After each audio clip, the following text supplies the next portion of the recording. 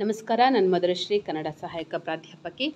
ಕರ್ನಾಟಕ ವಿಶ್ವವಿದ್ಯಾಲಯದ B com ನಾಲ್ಕನೇ ಸೆಮಿಸ್ಟರ್ನ ಕನ್ನಡ ಅವಶ್ಯಕ ಪಠ್ಯಪುಸ್ತಕದ ಮೂರನೇ ಘಟಕ ಇದರಲ್ಲಿ ತಿರುಕುಳವಿನಾಚಿಯ ಪ್ರಸಂಗ ಅನ್ನುವಂತಹ ಒಂದು ಪದ್ಯವನ್ನು ಅಧ್ಯಯನಕ್ಕೆ ಇಡಲಾಗಿದೆ.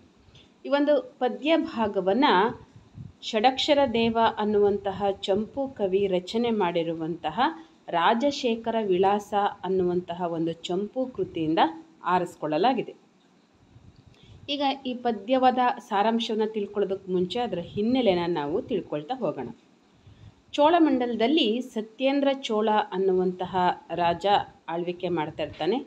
ಅವನ ಮಗ ರಾಜಶೇಖರ ಹಾಗೂ ಅವನ ಸ್ನೇಹಿತನಾದಂತಹ ಮಿತವಚನ. ಇವರಿಬ್ಬರೂ ಸಹ ಒಂದು ದಿನ ಕುದುರೆಯ ಮೆರವಣಿಗೆಯನ್ನು ಹೊರಟಿದ್ದಾರೆ. ಈ ಸಂದರ್ಭದಲ್ಲಿ ಈ ಒಂದು ತಿರುಕುಳವಿನಾಚಿ ಅನ್ನುವಂತಹ ಒಬ್ಬ ಮಹಿಳೆ, ಆ ಮಹಿಳೆ ಅನಿವಾರ್ಯವಾಗಿ ನೀರನ್ನ ತರೋದಕ್ಕೆ ಅಂತ ಹೋಗಬೇಕಾಗಿರುತ್ತೆ. ಅಂತಹ ಸಂದರ್ಭದಲ್ಲಿ ಆಕೆಯ ಐದು ವರ್ಷದ ಮಗನಾಗಿರುವಂತಹ ಶಂಕರ ಅನ್ನುವಂಥವನು ಈ ಒಂದು ಮೆರವಣಿಗೆಯನ್ನು ನೋಡೋದಕ್ಕೆ ಸಲುವಾಗಿ ರಾಜಬೀದಿಗೆ ಬಂದು ಅಲ್ಲಿ ಆ ಮಂತ್ರಿಯ ಮಗನ ಕುದುರೆ ಕಾಲಿಗೆ ಸಿಕ್ಕಿ ಹತನಾಗಿರ್ತಾನೆ. ಈ ವಿಚಾರ ನೀರಿಗೆ, ನೀರು ತರೋದಕ್ಕೆ ಹೋಗಿರುವಂತಹ ತಿರುಕುಳವಿನಾಚಿಗೆ ಗೊತ್ತಿರೋದಿಲ್ಲ. ಅವಳು ಈಗ ಮನೆಗೆ ಬಂದು ನೋಡಿದಂಥ ಸಂದರ್ಭದಲ್ಲಿ ಅಲ್ಲಿ ಮಗ ಶಂಕರ ಇರೋದಿಲ್ಲ. ಆ ಸಂದರ್ಭದಲ್ಲಿ ಅವಳು ಮಗನ ಹುಡುಕೊಂಡು ಬರ್ತಾ ಇದ್ದಾಳೆ. ಅದು ಏನಾಯಿತು, ಮುಂದೆ ಏನಾಯಿತು ಅನ್ನುವಂಥದ್ದನ್ನು ಈ ಪದ್ಯ ಭಾಗದಲ್ಲಿ ಹೇಳಲಾಗಿದೆ. ನೋಡಿ, ಇದು ಆ ತಾಯಿ ಮಗನನ್ನು ಕಾಣದೆ ಮಗನಿಗೋಸ್ಕರ ಹಂಬಲಿಸಿ ಎಲ್ಲ ಕಡೆ ಹುಡುಕೊಂಡು ಬರ್ತಾ ಇದ್ದಾಳೆ. ಮ, ಪ್ರೀತಿಯಿಂದ ಮಗನನ್ನು ಕರಿತಾ ಇದ್ದಾಳೆ. ಎಲೆ ಸುಕುಮಾರ, ಶಂಕರ ಕುಮಾರ, ಬಾರ, ಮದೀಯ ಲೋಚನೋತ್ಪಲ ರಜನೀಶ, ನಿನ್ನ ಮೊಗಧಾವರೆಯ ಮಿಗೆ ತೋಟದೆ ಎತ್ತ ಪೋದೆ. ಲಲಿತ ಮಂದಹಾಸ, ಲಲಿತ ಸ್ಥಳದ ಕ್ಷರವಾಣಿ, ಗೆಜ್ಜೆ ಮೆಲ್ಲುಲಿಗುಡೆ ಬಂದು ಬಟೆಯನಪ್ಪದೆ ತಳ್ಳಿದೆ ತನುಭವ ಅಂತೇಳ್ಬಿಟ್ಟು ಕರಿತಾ ಇದ್ದಾಳೆ. ನೋಡಿಲಿ. ಎಲೆ ಸುಕುಮಾರ, ಶಂಕರ ಕುಮಾರ ಮಗನನ್ನು ಹೇಗೆ ಪ್ರೀತಿಯಿಂದ ಮುದ್ದು, ಶಂಕರ, ಪುಟ್ಟ, ಬಾರೋ ಎಲ್ಲಿದೆಯಾ ಅಂತ ಹೇಳಿಬಿಟ್ಟು ಅವಳು ಕರಿತಾ ಇದ್ದಾಳೆ. ಲೋಚನೋತ್ಪಲ ರಜನೀಶ. ನೋಡಿ, ಲೋಚನೋತ್ಪಲ ರಜನೀಶ ಅಂದರೆ, ಲೋಚನ ಅಂದರೆ ಕಣ್ಣು ಅಂತ ಇಲ್ಲಿ ಅರ್ಥ. ನನ್ನ ಕಣ್ಣುಗಳೆಂಬ ಕೆನ್ನೈದಿಲಿಗೆ ಚಂದ್ರನಂತಿರುವವನೇ. ನೋಡಿ, ಚಂದ್ರಕ್ಕೂ ನೈದಿಲೆಗೂ ನೇರ ಸಂಬಂಧ ಇದೆ. ಚಂದ್ರ ಬಂದಂಥ ಸಂದರ್ಭದಲ್ಲಿ ನೈದಿಲೆ ಅರಳುವಂಥದ್ದು. ಹಾಗೆ ಇವಳ ನೈ, ಇವಳ ಕಣ್ಣುಗಳು ಇವಳ ಕಣ್ಣುಗಳು ತಾಯಿಯ ಕಣ್ಣಿಗೆ, ತಾಯಿಯ ಕಣ್ಣು ಅರಳೋದಕ್ಕೆ ಮಗನೇ ಕಾರಣ ಅಂತ ಹೇಳಿಬಿಟ್ಟು ಇಲ್ಲಿ ಒಂದು ಅರ್ಥ ಬರುತ್ತೆ. ಅಂದರೆ ನನ್ನ ಕಣ್ಣು ಅನ್ನುವಂತಹ ನೈ, ತಾವರೆಗೆ ಚಂದ್ರನ ಹಾಗಿರುವಂಥವನೇ ಎಲ್ಲಿ ಹೋದೆ? ಸದಾಕಾಲ ಮಂದಹಾಸ ಬೀರುವಂಥವನೇ ಮಧುರವಾಗಿ, ಲಲಿತ ಸ್ಥಳಕ್ಷರವಾಣಿ ಅಂತಂದರೆ ಇಲ್ಲಿ ಮಧುರವಾಗಿ ಮಾತಾಡುವವನೇ ಗೆಜ್ಜೆಯ ಶಬ್ದ ಮಾಡಿಕೊಂಡು ಮೆತ್ತಗೆ ಬಂದು ನನ್ನ ಸೀರೆಯ ಸೆರಗನ್ನು ಹಿಡ್ಕೊಳ್ತಿದ್ದಂಥವನು ನೀನು. ಎಲ್ಲಿದೆ? ನನ್ನ ದೇಹವನ್ನು ಬಂದು ಹಿಡ್ಕೊಳ್ತಿದ್ದಂಥವನು. ಹಿಂದೆಯಿಂದ ಬಂದು ಬೆನ್ನನ್ನು ಹಿಡ್ಕೊಳ್ತಿದ್ದಂತಹ ಶಂಕರ, ಎಲ್ಲಿ ಹೋದೆ ನೀನು? ಅಂತೇಳ್ಬಿಟ್ಟು ಹೇಳ್ತಾ ಇದ್ದಾಳೆ. ಎಂದು ನಿಡುಸರದಿಂ ಕೂಗಿ ಕರೆ ಕರೆದು ಕಾಣದೆ ಕರ ಕರೆಸಿ ರಾಜಪುತ್ರನ ವಿಹರಣಮಂ ನೋಡಲೆಳಸಿ ರಾಜವೀಥಿಗೆ ಬಂದನೆಂದು ಬಗೆದು, ಬಗೆಗೆಟ್ಟು ಬಾಯ್ಬಿಟ್ಟು ಜನನಿ ಜವದಿಂದನ್ ಎಳ್ತಂದ ಅಲ್ಲಿಯೂ ವಹಿಸಿ ಕಾಣದೆ. ನೋಡಿ, ಬಾರ ಸುಕುಮಾರ, ಶಂಕರ ಕುಮಾರ ಅಂತ ನಿಡುಸರದಿಂ ದೊಡ್ಡ ಧ್ವನಿಯನ್ನು ಮಾಡಿ ಎಲ್ಲ ದಿಕ್ಕುಗಳಲ್ಲೂ ಕೂಗಿ ಕೂಗಿ ಕರ್ತಾ ಇದ್ದಾಳೆ. ಆದರೆ ಎಲ್ಲಿಯೂ ಅವಳಿಗೆ ಮಗ ಕಾಣಿಸೋದಿಲ್ಲ. ಆ ಸಂದರ್ಭದಲ್ಲಿ ಅವಳ ಮನಸ್ಸಿಗೆ ಒಂದು ಆಲೋಚನೆ ಬರುತ್ತೆ. ಈಗಾಗಲೇ ಗೊತ್ತಿರುವಂಥದ್ದು ಏನೋ? ರಾಜಪುತ್ರ ಒಂದು ವಿಹಾರವನ್ನು ಮಾಡ್ತಾ ಇದ್ದಾನೆ, ಕುದುರೆ ವಿಹಾರವನ್ನು ಮಾಡಿಕೊಂಡು ಬರ್ತಾ ಇದ್ದಾನೆ. ಬಹುಶಃ ಅದನ್ನೇನಾದರೂ ನೋಡೋದಕ್ಕೋಸ್ಕರವಾಗಿ ಇವನು ರಾಜಬೀದಿಗೆ ಹೋದ್ನೋ ಏನೋ ಅನ್ನುವಂತಹ ಒಂದು ಶಂಕೆ ಅವಳ ಮನಸ್ಸಲ್ಲಿ ಬರುತ್ತೆ. ಇನ್ನು ಚಿಕ್ಕ ಹುಡುಗ, ಐದು ವರ್ಷದ ಮಗು ಆ ಶಂಕರ, ಅವನು ಎಲ್ಲಿ ರಾಜಬೀದಿಗೆ ಹೋಗ್ಬಿಟ್ನೋ ಏನೋ, ರಾಜಬೀದಿಗೆ ಹೋಗ್ಬಿಟ್ನೋ ಏನೋ ಅಂತ ಅವಳಿಗೆ ಆತಂಕ ಶುರುವಾಗುತ್ತೆ. ಅವನಿಗೆ ಗೊತ್ತಿರೋದಿಲ್ಲ. ಅಷ್ಟು ಚಿಕ್ಕ ಹುಡುಗ ಅಲ್ಲಿ ರಾಜಬೀದಿಗೆ ಹೋದರೆ ಆ ಜನಸಂದಣಿಯ ಮಧ್ಯೆ ಅಂದರೆ ಮೆರವಣಿಗೆಯನ್ನು ನೋಡೋದಕ್ಕೆ ಅಲ್ಲಿ ಸಾಕಷ್ಟು ಜನ ಸೇರಿರ್ತಾರೆ. ಆ ಜನಸಂದಣಿಯ ಮಧ್ಯೆ ಎಲ್ಲಿ ಸಿಗ ಹಾಕ್ಕೊಬಿಟ್ನೋ ಏನಾಯಿತೋ, ಏನೋ ಅನ್ನುವಂತಹ ಅನುಮಾನದಿಂದ, ಶಂಕೆಯಿಂದ, ಭಯದಿಂದ, ಜವದಿಂದ, ಅವಸರದಿಂದ ಅಲ್ಲಿಗೂ ಸಹ ಅವಳು ಬರ್ತಿದ್ದಾಳೆ. ಅಲ್ಲಿಯೂ ಸಹ ಅವಳು ಹುಡುಕ್ತಾ ಇದ್ದಾಳೆ. ಹುಡುಕ್ತಾ ಅವಳು ಆಲೋಚನೆ ಮಾಡ್ತಾ ಇದ್ದಾಳೆ. ಏನು ಆಲೋಚನೆ ಮಾಡ್ತಾಳೆ ನೋಡಿ, ಇಂಥ ಸಂದರ್ಭದಲ್ಲಿ ತಾಯಿಯ ಮನಸ್ಸಿಗೆ ಏನೆಲ್ಲ ಆಲೋಚನೆಗಳು ಬರ್ತಿದ್ದಾವೆ. ಕರಿಗಳ ಕಾಲ್ಗೊಳಗಾದನು, ವರೂಥ ಚಕ್ರಕ್ಕೆ ಸಿಲ್ಕಿದನು, ಹಯಚಂಚ ತುರಹತಿಯಿಂದ ಅಳಿದನು, ಶಂಕರನ್ ಅಕಟಕಟ ಎಂದು ಬಗೆದು ಬಾಯಿ ಬಿಡುತ್ತಿದ್ದಳ್ ನೋಡಿ, ಅವಳಿಗೆ ಆಲೋಚನೆ ಬರ್ತಾ ಇದೆ. ಕರಿಗಳ ಕಾಲ್ಗೊಳಗಾದನು. ಅಯ್ಯೋ, ಆ ಮೆರವಣಿಗೆ ರಾಜನ ಕುಮಾರರ, ರಾಜ್ಕುಮಾರರ ಮೆರವಣಿಗೆಯಲ್ಲಿ ಏನಾದರೂ ಕರಿ ಅಂದರೆ ಆನೆ. ಆನೆಗಳ ಕಾಲುಗಳಿಗೆ ಏನಾದರೂ ಸಿಕ್ಕ ಹಾಕೋಬಿಟ್ನ ಅವನು. ಅಥವಾ ವರೂತ ಚಕ್ರಕ್ಕೆ, ಅಥವಾ ಅವರ ರಥದ ಚಕ್ರಕ್ಕೆ ಏನಾದರೂ ಸಿಕ್ಕ ಹಾಕ್ಬಿಟ್ಕೊಂಡ ಚಿಕ್ಕ ಹುಡುಗ ಇವನು. ಅಥವಾ ಹಯಚಂಚ ತುರಹತಿಯಿಂದ ಅಳಿದನು. ಹಯ, ಕುದುರೆಯ ಕಾಲಿಗೆ ಸಿಕ್ಕಿ ಏನಾದರೂ ಇವನಿಗೆ ಅಪಾಯ ಆಯಿತೋ? ಶಂಕರ, ಅಯ್ಯಯ್ಯೋ ಎಲ್ಲಿದೆಯಪ್ಪ ಅಂತ ಹೇಳಿಬಿಟ್ಟು ಅವಳು ಬಾಯಿ ಬಿಡ್ತಾ ಭಯದಿಂದ, ಆತಂಕದಿಂದ ಅವನನ್ನು ಹುಡುಕ್ತಾ ಇದ್ದಾಳೆ. ತನುಭವನ್ ಎಲ್ಲಿದನ್? ಎಲ್ಲಿದನ್ ಇನಿವಾತಿನ ಕೀರನ್? ಎಲ್ಲಿದಂ ಮೆಲ್ನಗೆ ಇಂಪಿನ ಸೊಬಗಂ? ಎಲ್ಲಿದಂ ಚೆಲ್ವಿನ ಕಣಿ? ಎಲ್ಲಿದನೋ ಮನ್ ಮನೋಭುಂಜ ಹಂಸಂ? ಮನ್ ಮನೋಂಬುಜ ಹಂಸಂ ಅಂತೇಳ್ಬಿಟ್ಟು ಹೇಳ್ತೀನಿ. ನೋಡಿ, ತಾಯಿಯಾದ ತನುಭವ, ನನ್ನ ಮಗ ಎಲ್ಲಿದನೆ? ಮಧುರವಾದ ಮಾತನಾಡುವಂತಹ, ಮೆಲುವಾಗಿ ನಗುವಂತಹ, ಚೆಲುವಿನ ಕಣಿಯಾಗಿರುವಂತಹ, ನನ್ನ ಮನಸ್ಸು ಅನ್ನುವಂತಹ, ಕೊಳದಲ್ಲಿ ವಿಹರಿಸುವಂತಹ, ಆ ನನ್ನ ಮಗ ಎಲ್ಲಿದ್ದಾನೆ ಅಂತ ಹೇಳಿಬಿಟ್ಟು ಅವಳು, ಆ ಮಗನನ್ನು ಹುಡುಕ್ತಾ ಇದ್ದಾಳೆ ಎಂದು ಪಲುಂಬಿ ಪವಾಡಿ ಬರ್ಪಾಗಳ್ ಹಾಗಂತ ಹಲುಪ್ಕೊಂಡು ಅಯ್ಯೋ ನನ್ನ ಮಗ ಎಲ್ಲಿದೆಯಪ್ಪ ನೀನು? ಮಧುರವಾಗಿ ಮಾತನಾಡುವಂಥ ನನ್ನ ಮುದ್ದು ಮಗನೇ ಎಲ್ಲಿದೆಯಾ ಅಂತ ಬರ್ಪಾಗಳ್ ಬರ್ತಿರುವಂಥ ಸಂದರ್ಭದಲ್ಲಿ ಪುರಜನಂ ಕಂಡು, ಈ ಮಡಿದ ಶಿಶು ಇವಳಂದೆಂದು ತಿಳಿದು ಅಳವಳಿದು ಪಳಯಿಸುವಳಂ ಕರೆದು ನೆರೆದ ಜನದೋಳ್ ಪುಗಿಸಿ. ನೋಡಿ, ಇವಳು ಹಂಬಲಿಸ್ತಾ ಬರ್ತಾ ಇರುವಂಥದ್ದನ್ನು ಪುರಜನಂ ಕಂಡು. ಆ ಪಟ್ಟಣದ ಜನ ನೋಡ್ತಾ ಇದ್ದಾರೆ. ಅವರೆಲ್ಲ ವಿಹಾರವನ್ನು ನೋಡೋದಕ್ಕೆ ಅಥವಾ ಮೆರವಣಿಗೆಯನ್ನು ನೋಡೋದಕ್ಕೆ ಅಂತ ಬಂದಿದ್ದಾರೆ. ಅವರೆಲ್ಲರೂ ಆ ಶಿಶು ಮಡ್ದಿರುವಂಥದ್ದು. ಈಗಾಗಲೇ ಆ ಕುದುರೆಯ ಕಾಲಿಗೆ ಸಿಕ್ಕು ಅವಳ ಶಿಶು ಮಡ್ದಿದ್ದಾನೆ. ಅದನ್ನು ಅವರೆಲ್ಲ ನೋಡಿದ್ದಾರೆ. ಅವ್ರಿಗೆ ಗೊತ್ತಾಗುತ್ತೆ, ಈ ಮಡಿದ ಶಿಶು ಇವಳದೆ ಅಂತ ಅವರಿಗೆ ಗೊತ್ತಾಗಿ ದುಃಖಿಸ್ತಿರುವಂತಹ, ಕಳವಳದಿಂದ, ಆತಂಕದಿಂದ ಇರುವಂತಹ ಈ ತಿರುಕುಳವಿನಾಚಿಯನ್ನು ಕರೆದ್ಬಿಟ್ಟು ಆ ನೆರೆದಿರುವಂತಹ ಜನದ ಗುಂಪಿನ ಮಧ್ಯದಲ್ಲಿ ಅವಳನ್ನು ಒಳಗಡೆ, ಆ ಗುಂಪಿನ ಯಾಕೆಂದರೆ ಗುಂಪುಗೂಡಿದರೆ ಜನ ಎಲ್ಲ ಮೆರವಣಿಗೆ ನೋಡೋಕೆ ಸಲುವಾಗಿ ಈಗ ಆ ಸತ್ತಿರುವಂಥ ಮಗುವನ್ನು ನೋಡ್ತಾ ಜನ ಗುಂಪುಗೂಡಿದರೆ ಆ ಗುಂಪಿನ ಮಧ್ಯದಲ್ಲಿ ಇವಳನ್ನ ನುಗ್ಗಿಸ್ಬಿಟ್ಟು ನರೇಂದ್ರ ತುರಗ ಕುರಹತಿಯಿಂ ಮಡಿದನೆಂದು ತೊಟ್ಟನೆ ತೋರಲೊಡಂ. ತೊಟ್ಟನೆ ತೋರ, ತೋರ್ತಾ ಇದ್ದಾರೆ ನೋಡಿ ಇಲ್ಲಿ. ನರೇಂದ್ರನ ರಾಜನ ರಾಜನ ಕುದುರೆಯ ಕಾಲಿಗೆ ಸಿಕ್ಕು, ಈ ಮಗು ಮಡ್ದಿದ್ದಾನೆ ಅಂತ ಹೇಳ್ಬಿಟ್ಟು ಅವಳಿಗೆ ತೋರಿಸಿದ ತಕ್ಷಣ ಅವಳು ಆ ಮಗುವನ್ನು ನೋಡಿಬಿಟ್ಟು, ಆ ಶವವನ್ನು ನೋಡಿದರೆ ಅಲ್ಲಿ ಅವನ ಕುತ್ತಿಗೆ ಕತ್ತರಿಸಿ ಹೋಗಿರುವಂಥದ್ದು. ಆಗ ಮಗುವಿನ ಶವವನ್ನು ನೋಡಿ ಅವಳು ಹೇಗೆ ದುಃಖಿಸ್ತಾ ಇದ್ದಾಳೆ ನೋಡಿ. ಎಳೆಗಿಳಿಯಂ ಕೊರಲ್ ಮುರಿದು ಮೋದಿದರ ಆರ್. ಎಳೆಗಿಳಿಯ. ನೋಡಿ, ಗಿಳಿ ತುಂಬ ಮುದ್ದಾಗಿರುವಂಥದ್ದು, ಜೊತೆಗೆ ಮುದ್ದಾಗಿ ಮಾತನಾಡುವಂತಹ ಅಂತಹ ಎಳೆಯ ಗಿಳಿಯ, ಗಿಳಿನೇ ಮುದ್ದು. ಅದರಲ್ಲೂ ಎಳೆಗಿಳಿಯನ್ನು ಕೊರಳನ್ನು ಮುರಿದ್ಬಿಟ್ಟು ಮುದ್ದೆ ಮಾಡಿದವರು ಯಾರು ಅಂಥೇಳ್ಬಿಟ್ಟು ಅವಳು ಕೇಳ್ತಾಳೆ. ತನ್ನ ಮಗನನ್ನು ಗಿಳಿಗೆ ಹೋಲಿಸ್ತಾ ಇದ್ದಾಳೆ, ಮಡಿದಿರುವಂತಹ ಮಗನನ್ನು. ಆಯಿತಾ? ಮುಂದೆ ಹೇಳ್ತಾಳೆ ಮಣಿಯಂಚೆಯಂ ಭಯಂಗೊಳಿಸುನ್ ತೆರಂಕೆಯಂ ಪಡೆದು ಪೊಯ್ದವರಾರ್. ಮಣಿಯಂಚೆಯಂ ಅಂಚೆ ಅಂಚೆ ಅಂದರೆ ಹಂಸ ಹಂಸವನ್ನು ನೀರಿನೊಳಗೆ ರೆಕ್ಕೆಯನ್ನು ಬಿಚ್ಚಿ ಆಡುವಂತಹ ಹಂಸವನ್ನು. ಅಷ್ಟು ತನ್ನ ಪಾಡಿಗೆ ತಾನು ಆಡ್ತಾ ಇರುವಂತಹ ಅಷ್ಟು ಸುಂದರವಾದಂಥ ಹಂಸವನ್ನು ಯಾರಿಗಾದರೂ ಮನಸ್ಸು ಬಂತು ಅದನ್ನು ಭಯಗೊಳಿಸಿ ಅದರ ರೆಕ್ಕೆಯ ಮುರಿದು ಹೋಗುವ ಹಾಗೆ ಅದಕ್ಕೆ ಹೊಡೆದವರು ಯಾರು? ರೆಕ್ಕೆ ಹರಿಯುವಂತೆ ಅದನ್ನು ಹೊಡೆದವರಾರು. ಮೃಗಶಾಪಮಂ ಕರಂ ಮುಳಿದು ಶಿರೋದಿಯಂ ಕಡೆಯಲೆಚ್ಚವರಾರ್ ಮೃಗಶಾಪಮಂ ಜಿಂಕೆ ಮರಿಯನ್ನು ಅದರ ಕುತ್ತಿಗೆ ಮುರಿದು ಹೋಗುವ ಹಾಗೆ ಬಾಣ ಬಿಟ್ಟವರಾರು. ಆಯಿತಾ? ಬಿಸನಾಳ ಕಾಂಡ ಕೋಮಳ ತರ ಕಂಠಮಂ ಕಡಿದು ಉಳಿದರಾರ್ ಸುಕುಮಾರ ಶೇಖರ. ಬಿಸನಾಳ ಅಂದರೆ ತಾವರೆಯ ದಂಟು, ಮೃದುವಾದ ಕಮಲದ ನಾಳದಂತಿರುವ ಕೊರಳನ್ನು ಕಡಿದು ಉರುಳಿಸಿದವರು ಯಾರು? ಯಾರಿಗಾದರೂ ಇಂತಹ ಒಂದು ಘೋರವಾದಂತಹ ಕ್ರೂರವಾದಂಥ ಕೆಲಸವನ್ನು ಮಾಡೋದಕ್ಕೆ ಬಂತು ಅಯ್ಯೋ ಸುಕುಮಾರ, ಶಂಕರ ಅಂತೇಳ್ಬಿಟ್ಟು ಅವಳು ಏನು ಮಾಡ್ತಾಳೆ, ಆ ಮಗುವನ್ನು ನೋಡಿ ಹಂಬಲಿಸ್ತಾ ಇದ್ದಾಳೆ.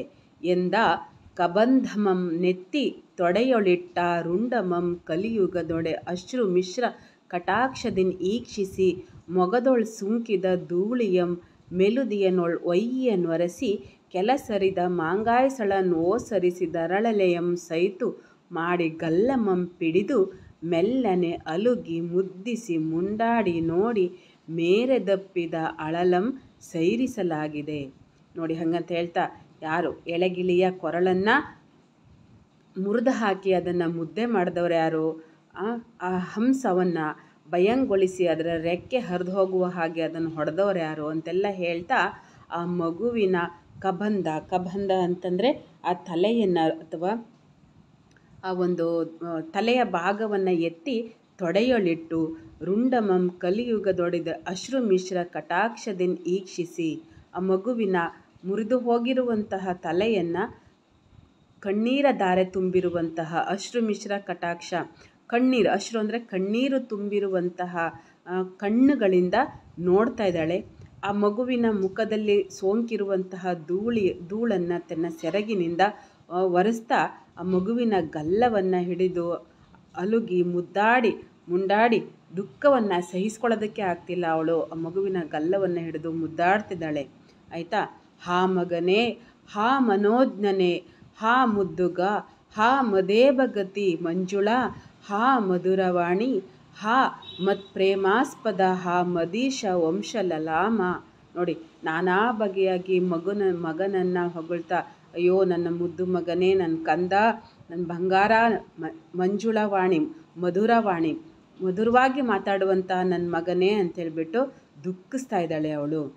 ಎಲ್ಲಿಯ ಹಯಂ, ಎಲ್ಲಿಯ ನೃಪ, ಎಲ್ಲಿಯ ವೈಹಾಳಿ, ಎಲ್ಲಿಯ ಅತಿ ಕಳಕಳಂ, ಇಂತೆಲ್ಲಿಯ ದರ್ಶನಗಂ, ಇದೆಲ್ಲಿಯ ಮೃತಿ ನಿನಗೆ ಬಂದುದೆಲೆ ಸುಕುಮಾರ? ನೋಡಿ ಅವಳು ಹೇಳ್ತಾಳೆ ಎಲ್ಲಿಯ ಹಯ? ಅಯ್ಯೋ, ಎಲ್ಲಿ ಕುದುರೆನೋ, ಎಲ್ಲಿಯ ರಾಜನೋ ಎಲ್ಲಿಯ ಮೆರವಣಿಗೆನೋ, ಎಲ್ಲಿಯ ಈ ಒಂದು ಜನಸಂದಣಿಯೋ, ಕಳಕಳಂ ಅಂದರೆ ಜನರ ಗುಂಪು. ಅಂದರೆ ಅದೆಲ್ಲ ಆಗಿದ್ದರಿಂದಲೇ ಅದನ್ನು ನೋಡೋದಕ್ಕೆ ಅಂತಲೇ ನೀನು ಬರುವಂತಹ ಒಂದು ಸ್ಥಿತಿ ಬಂತು. ಎಲ್ಲಿಯ ಮೃತಿ ಅದೆಂಥ ಸಾವು ನಿನಗೆ ಬಂತು ಸುಕುಮಾರ ಅಂತ ಹೇಳಿಬಿಟ್ಟು ಅವಳು ದುಃಖಿಸ್ತಾ ಇದ್ದಾಳೆ. ಮುನ್ನ, ಮುನ್ನಂ ಅರಳಿದ ಅಳಲನೆ ಎಲೆ, ನಿನ್ನಂ ನೆಲೆ ನೋಡಿ ಮಗನೇ ಮಣಿದಿರ್ದೆಂ. ಪೇಳ್ ಇನ್ನಾರಿಂದಂ ಮಣಿದಪನ್ ಎನ್ನೋಳ್ ಉಸಿರ್ಸು ಸುಮ್ಮನಿರದೆ ಎಲೆ ತನುಜಾತ. ಮುನ್ನಂ ಅರಳಿದ ಅಳಲೆನೆ. ನೋಡಿ, ಈಗಾಗಲೇ ಜೀವನದಲ್ಲಿ ಸಾಕಷ್ಟು ನೋವನ್ನು ಅನುಭವಿಸಿದ್ರು, ಅನುಭವಿಸಿರುವಂಥವಳು ಆ ತಿರುಕುಳುವಿನಾಚಿ. ಅದನ್ನೇ ಹೇಳ್ತಿದ್ದಾಳೆ. ಅಂದರೆ, ಅವಳಿಗೆ ಈ ಮುಂಚೆ ಆರು ಮಕ್ಕಳು ಇರ್ತಾರೆ. ಆ ಆರು ಮಕ್ಕಳನ್ನು ಸಹ ಅವಳು ಕಳ್ಕೊಂಡಿದ್ದಾಳೆ. ಜೊತೆಗೆ ಗಂಡನನ್ನು ಸಹ ಅವಳು ಕಳ್ಕೊಂಡಿದ್ದಾಳೆ. ಈಗ ಅವಳ ಜೀವನದಲ್ಲಿ ಉಳಿದಿರುವಂತಹ ಒಂದೇ ಒಂದು ಆಶಾ ಕಿರಣ ಅಂದರೆ ಅದು ಈ ಶಂಕರ ಒಬ್ಬ ಮಾತ್ರ. ಈ ಆರು ಜನ ಮಕ್ಕಳನ್ನು ಕಳ್ಕೊಂಡಿರುವಂಥ ನೋವನ್ನು, ಪತಿಯನ್ನು ಕಳ್ಕೊಂಡಿರುವಂತಹ ದುಃಖವನ್ನು ಅವಳು ಇವನ ಮುಖವನ್ನು ನೋಡಿ ಮರಿತಾ ಇದ್ಲು. ಇವಳ ಮುಖವನ್ನು ನೋಡಿ, ಈ ಮಗುವಿನ ಮುಖವನ್ನು ನೋಡಿ ಅವಳು ಸಮಾಧಾನ ಪಡ್ಕೊಳ್ತಾ ಇದ್ಲು. ಅದನ್ನು ಹೇಳ್ತಾಳೆ, ಇನ್ನಾರಿಂದ ಮಣಿದಪ್ಪನ್, ಇನ್ಯಾರನ್ನ ನೋಡಿ ನಾನು ಸಮಾಧಾನ ಪಡ್ಕೊಂಡ್ಲಿ ಮಗನೇ? ಅಂತ ಹೇಳಿಬಿಟ್ಟು ಹೇಳ್ತಾಳೆ ಇಲ್ಲಿ ಗಳೆಗಳನೆ ಬಳೆದು ಧನಮಂ ಗಳಿಸಿ ಚರಾರ್ಚನೆ ಎಸಗಿ ಹರಕೃಪೆ ಒಡೆದು ಉಜ್ಜಳ ಸುಖಮಂ ನೀವನೆಂದಿರೆ ತಿಳಿವಿಲ್ಲದೆ ಮಗನೇ ತುರಗ ಹತಿಯಿಂ ಮಡಿದೈ. ಗಳೆಗಳನೆ ಬೆಳೆದು ನೋಡಿ ಎಲ್ಲ ತಾಯಂದಿರ ಆಸೆ ಇದು. ಬೇಗ ಬೇಗ ಬೆಳೆದ್ಬಿಟ್ಟು ಈಗ ಇರೋನೊಬ್ಬನೇ ಅವಳಿಗೆ.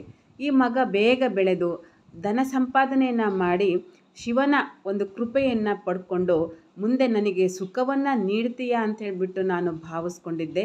ಈಗ ನೋಡಿದ್ರೆ ನೀನು ಕುದುರೆಯ ಕಾಲಿಗೆ ಸಿಕ್ಕಿ ಸತ್ತೋದ್ಯಲ್ಲ ಮಗನೇ ಅಂತ ಹೇಳ್ಬಿಟ್ಟು ಅವಳು ದುಃಖಿಸ್ತಾ ಇದ್ದಾಳೆ. ಅಂತೂ ತನ್ನ ಅಳಲು ಉರಿಯ ಪೆರ್ಬೊಗೆ ಕವಿದಂತೆ ಕವಿದ ಕಡುಗಳಲೆಯೋಳು ಆ ತಿರುಕೊಳವಿನಾಚಿ ತನ್ನ ಮಗನ ಕಳೇವರವನ್ನೆತ್ತಿ ತಳ್ಳಿಸಿಕೊಂಡು, ಅಂತ ಆನುಂ ಅಲ್ಲಿಂದೇಳು ನಿಜ ಗೃಹ ಕೇಳ್ತಂದು ಮುಂಡಮಂ ಪತ್ನಿಸಿ ನೋಡಿ ಮತ್ತೆ ಮಿರದೆ ಅಂತೂ ತನ್ನಳಲುರಿಯ ಪೆರ್ಬಗೆ ಕವಿದಂತೆ ಕವಿದ ಕಡುಗಳಲೆಯೋಳು ನೋಡಿ, ಅವಳ ಒಡಲಿನ ಬೆಂಕಿ ಏನು, ಮಗನನ್ನು ಕಳೆದುಕೊಂಡ ಸಂಕಟದ ಉರಿಯ ಹೊಗೆ ಹಬ್ಬಿ ಕತ್ತಲಾಯಿತು ಅನ್ನುವ ಹಾಗೆ ಏನಾಯಿತು? ಕತ್ತಲಾಯಿತು. ಕವಿ ಇಲ್ಲಿ ಹೋಲಿಸ್ತಾ ಇದ್ದಾನೆ. ಅಲ್ಲಿ ಸಾಯಂಕಾಲ ಆಗಿ ಕತ್ತಲೆ ಆಗ್ತಾ ಇದೆ. ಆದರೆ ಆ ಕತ್ತಲೆ ಹೇಗಾಗಿದೆ ಅನ್ನೋದನ್ನು ಕವಿ ಹೇಳ್ತಾ ಇದ್ದಾನೆ ನೋಡಿ. ಅವಳ ಒಡಲ ಉರಿಯ ಹೊಗೆ ಕವಿದೆ ಕತ್ತಲಾಯ್ತೇನೋ ಅನ್ನೋ ಹಾಗೆ ಕತ್ತಲಾಗುತ್ತೆ. ಆಗ ತನ್ನ ಆ ತಿರುಕುಳವಿನಾಚಿ ತನ್ನ ಮಗನ ನಿಜ ಕಳೆಯವರ ಅವನ ಶವವನ್ನು ಎತ್ತಿಕೊಂಡು, ಆ ತಾನು ಅಲ್ಲಿಂದ ಎದ್ಬಿಟ್ಟು ನಿಜ ಗೃಹ ಕೇಳ್ತಂದು ತನ್ನ ಮನೆಗೆ, ಸ್ವಂತ ಮನೆಗೆ ಬರ್ತಾ ಇದ್ದಾಳೆ. ನೋಡಿ, ಆ ಮನೆಗೆ ಬಂದಾಗ ಎಲ್ಲೋ ಒಂದು ದೂರದ ಆಸೆ, ಮಗುವಿನ ಮುಂಡವನ್ನು ಮತ್ತೆ ಅವಳು ನೋಡ್ತಿದ್ದಾಳೆ ಅಂದರೆ, ಮನೆಗೆ ಬಂದಮೇಲೆ ಮಗ ಎಲ್ಲಿ ಮಾತಾಡ್ತಾನೇನೋ, ನಾನು ನೋಡ್ತಾನೇನೋ, ಎದ್ದು ಕೂಗ್ತಾನೇನೋ ಅನ್ನುವಂಥ ಒಂದು ಆಸೆಯಿಂದ ನೋಡ್ತಿದ್ದಾಳೆ. ಆದರೆ ಅಲ್ಲಿ ಯಾವುದೇ ಒಂದು ಚಲನೆಯು ಕಂಡು ಬರೋದಿಲ್ಲ ಆಗ ಮತ್ತೆ ಮುಂದುವರೆದು ಹೇಳ್ತಾಳೆ ಸರಿವರೆಯದ ಮಕ್ಕಳ್, ಶಂಕರನ್ ಎಲ್ಲಿದನ್ ಆಡಲೆಂದು ಬೆಸಗುಳಲೇನೆಂದಿರದೆ ಮಣಿಮಾತು ಗೊಟ್ಟಪ್ಪೆನ್ ಅರಸನ ಹಯದಿಂದೆ ಮಡಿದನೆಂಬೆನೆ ಮಗನೇ. ಸರಿವರೆಯದ ಮಕ್ಕಳ್, ನಿನ್ನ ಸಮಾನ ವಯಸ್ಕರು, ನಿನ್ನ ಸ್ನೇಹಿತರು, ನಿನ್ನ ಜೊತೆ ಆಡುವಂಥ ಮಕ್ಕಳು ಬಂದುಬಿಟ್ಟು ಶಂಕರ ಎಲ್ಲಿ ಅಂತ ನನ್ನನ್ನು ಬಂದು ಕೇಳಿದರೆ ನಾನು ಏನು ಹೇಳಲಿ? ಆಯಿತಾ? ಅರಸನ ಹಯದಿಂದ ರಾಜನ ಕುದುರೆಯ ಕಾಲಿಗೆ ಸಿಕ್ಕಿ ಸತ್ತೋದ ಅಂತ ಹೇಳದ್ನಾ ಅಂತ ಇಲ್ಲಿ ಅವಳು ಹೇಳ್ತಾಳೆ ನೋಡಿ, ಇಲ್ಲಿ ಒಂದು ಬಗೆಯ ವ್ಯಂಗ್ಯನೂ ಇದೆ. ರಾಜ ಆದವನು ಪ್ರಜೆಗಳನ್ನ ಕಾಪಾಡುವಂಥದ್ದು ಅವನ ಧರ್ಮ ಆಗಿರುತ್ತೆ. ಅಂಥದ್ರಲ್ಲಿ ಅಂತಹ ತನ್ನ ಪ್ರಜೆಗಳನ್ನ ಕಾಪಾಡಬೇಕಾದಂಥ ಒಬ್ಬ ರಾಜನ ಕುದುರೆಯ ಕಾಲಿಗೆ ಸಿಕ್ಕಿ ನನ್ನ ಮಗ ಸತ್ತೋದ್ನ ಅಂತ ಹೇಳಲ್ಲ ನಾನು ಅಂತೇಳ್ಬಿಟ್ಟು ಒಂದು ಕಡೆ ದುಃಖ, ಒಂದು ಕಡೆ ವ್ಯಂಗ್ಯದಿಂದ ಅವಳು ಹೇಳ್ತಾಳೆ, ಮಗನೇ, ನೀನಿಂತಳಿಯೇ ಸೈರಿಪನೆಂತು ಪೇಳ್ ಶಂಕರ, ಸುಗುಣ ನಿಧಿ, ನೀನೆನ್ನ ಮೋರೆಗಳ ನೊರ್ಮೆ ಕೇಳೋ ಶಂಕರ. ನೋಡಿ, ಮಗನೇ, ನೀನು ಹೀಗೆ ನನ್ನನ್ನು ನಡುದಾರಿಯಲ್ಲಿ ಕೈ ಬಿಟ್ಟು ಹೋದರೆ ನಾನು ಹೇಗೆ ನನ್ನ ಸಹಿಸ್ಕೊಳ್ಳಿ ಮಗನೇ?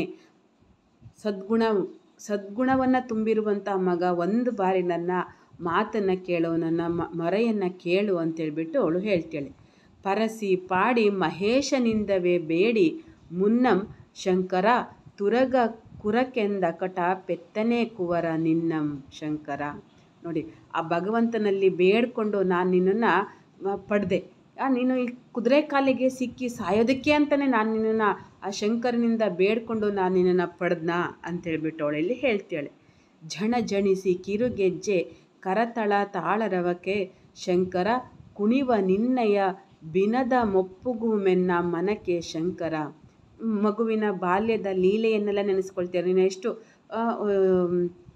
ಗೆಜ್ಜೆಯ ಶಬ್ದ ಮಾಡಿಕೊಂಡು ಕುಣಿದು ನನಗೆ ಸಂತೋಷವನ್ನು ತಂದು ಕೊಡ್ತಾ ಇದೆ. ಅಂಥದ್ರಲ್ಲಿ ಈಗ ನಿನಗೆ ಇಂಥ ಗತಿ ಬಂತಲ್ಲ. ಶರಣ ಪದ ಪಂಕಜ ರಜಂಗೊಳಲೊಳ್ ಆದಂತುಂ ಶಂಕರ ಶಂಕರ ತುರಗ ಕುರಹತಿ ಕುರಹತಿ ಜನಿತ ಧೂಳಿಯೊಳ್ ಅಳಿದೆಯಂ. ನೋಡಿ ಶರಣ ಪದ ಪಂಕಜ ಶರಣರು. ಅಂದರೆ ಶಿವಶರಣರ, ಅವರೆಲ್ಲರೂ ಶಿವಭಕ್ತರೇ ಆಗಿರುವಂಥದ್ದು ಈ ಒಂದು ಕಥೆನಲ್ಲಿ ಬರುವಂಥದ್ದು. ಆ ಶಿವಭಕ್ತರ ಪಾದ ಧೂಳಿಯನ್ನು ಹತ್ತಿಸ್ಕೊಳ್ಬೇಕಾಗಿರುವಂತಹ ನೀನು ಇವತ್ತು ಕುದುರೆಯ ಕಾಲಿನ ಧೂಳಿಯ, ಧೂಳಿಗೆ ಸಿಕ್ಬಿಟ್ಟು ನೀನು ಮರಣ ಹೊಂದಿದೆಯಲ್ಲ ಮಗನೇ ಅಂತೇಳ್ಬಿಟ್ಟು ಎಂದು ನಂದನನ ಗುಣರುಂದಮಂ ನೆನೆ ನೆನೆದು ಆಕ್ರಂದಿಸಿ ಮತ್ತಮ್ಮಿರದೆ. ಹಾಗಂಥೇಳಿ ಮಗನ ಒಳ್ಳೆಯ ಗುಣಗಳನ್ನೆಲ್ಲ ನೆನೆಸ್ಕೊಂಡು ದುಃಖಿಸ್ತಾ ಮತ್ತೆ ಸಮಾಧಾನ ಆಗದಲೇ ತಾಯಿ ಗಿರಿಜೆಯನ್ನು ಪ್ರಾರ್ಥಿಸ್ಕೊಳ್ತಾ ಇದ್ದಾಳೆ. ಯಾಕೆ ಗಿರಿಜೆ? ತಾನೂ ಒಂದು ತಾಯಿ, ಗಿರಿಜೆನೂ ಒಬ್ಬಳು ತಾಯಿ. ಒಬ್ಬ ತಾಯಿಯ ದುಃಖ ಮಾತ್, ಮತ್ತೊಬ್ಬ ತಾಯಿಗೆ ಅರ್ಥ ಆಗುತ್ತೆ ಅನ್ನುವಂಥದ್ದು ಗೊತ್ತಿದೆ ಅವಳಿಗೆ. ಹಾಗಾಗಿ ಗಿರಿಜೆಯನ್ನು ಕುರಿತು ಪ್ರಾರ್ಥಿಸ್ತಿದ್ದಾಳೆ. ಎಲೆ ಗಿರಿಜಾತೆ, ಮಾತೆ ಕರುಣಾಕರ ಶಂಕರಿ, ದಿವ್ಯ ರೂಪ ನಿರ್ಮಲೆ ನಿಗಮಾಗಮ ಸ್ತುತೆ ಮಹೇಶ್ವರಿ ಮಂಗಳಮೂರ್ತಿ ಭಕ್ತವತ್ಸಲೆ ರತಿಂಗಳಳೆದ ದೇವಿ ರಮಾನತೆ ಒಂದೆನಿದು ನಿನ್, ನಿನ್ನ ಅಲುಗು ಕೃಪಾ ಕಟಾಕ್ಷದಿ ವೀಕ್ಷಿಸಿ ರಕ್ಷಿಪುದೆನ್ನೆನ್ನ ನಂಬಿಕೆ. ಎಲೆ ಗಿರಿಜಾತೆ. ಅವಳು ಇಲ್ಲಿ ಶಂಕರ ಗಿರಿಜೆಯನ್ನು ಪ್ರಾರ್ಥನೆ ಮಾಡ್ತಾ ಇದ್ದಾಳೆ.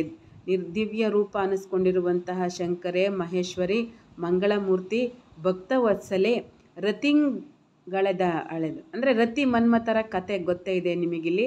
ಅಲ್ಲಿ ಮನ್ಮಥ ಶಿವನ ಒಂದು ಮೂರನೆಯ ಕಣ್ಣಿಗೆ ಮನ್ಮಥ ಸಿಲುಕಿದಂತಹ ಸಂದರ್ಭದಲ್ಲಿ ಅವ ಮನ್ಮಥನ ಪತ್ನಿಯಾದಂತಹ ರತಿ ಅಲ್ಲಿ ಬಂದ್ಬಿಟ್ಟು ಗಿರಿಜೆಯನ್ನು ಪ್ರಾರ್ಥಿಸಿದಂಥ ಸಂದರ್ಭದಲ್ಲಿ ಅಲ್ಲಿ ಪಾರ್ವತಿ ಬಂದು ಮತ್ತೆ ಮನ್ಮಥನನ್ನು ಅವನು ಒಂದು ಏನು ಇದ್ರ ರೂಪದಲ್ಲಿ, ಅಂದರೆ ಮನಸ್ಸಿಜನಾಗಿ ಅವ ಅವಳ ಜೊತೆ ಸೇರುವಂತಹ ಒಂದು ವರವನ್ನು ಕೊಟ್ಟಿರ್ತಾಳೆ. ಅಂದರೆ ಕಷ್ಟದ ಸಂದರ್ಭದಲ್ಲಿ ರತಿಗೆ ಸಹಾಯ ಮಾಡಿದಂಥವಳೆ ಅಂಥವಳ ಆಗಿರುವಂತಹ ಗಿರಿಜಾತೆ, ನಿನ್ನ ಕುಟ್ ಕೃಪಾ ಕಟಾಕ್ಷದಿಂದ, ನಿನ್ನ ಕೃಪಾ ಕಟಾಕ್ಷದಿಂದ ನನ್ನ ಮಗನನ್ನು ಈಕ್ಷಿಸಿ ನನ್ನ ಮಗನೂ ಒಂದು ಸಲ ನೋಡು, ಅವನನ್ನು ರಕ್ಷಿಸ್ತೀಯ ನೀನು ಅನ್ನುವಂಥ ನಂಬಿಕೆ ನನಗಿದೆ ಅಂತ ಹೇಳಿಬಿಟ್ಟು ಅವಳು ಆ ಗಿರಿಜೆಯನ್ನು ಬೇಡ್ಕೊಳ್ತಾ ಇದ್ದಾಳೆ.